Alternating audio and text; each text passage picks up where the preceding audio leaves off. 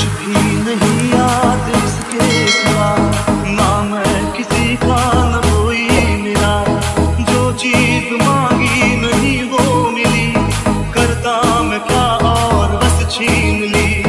बस छीन ली, बस छीन ली। मैं भी शराफत से जीता मगर, मुझको शरीफों से लगता था डर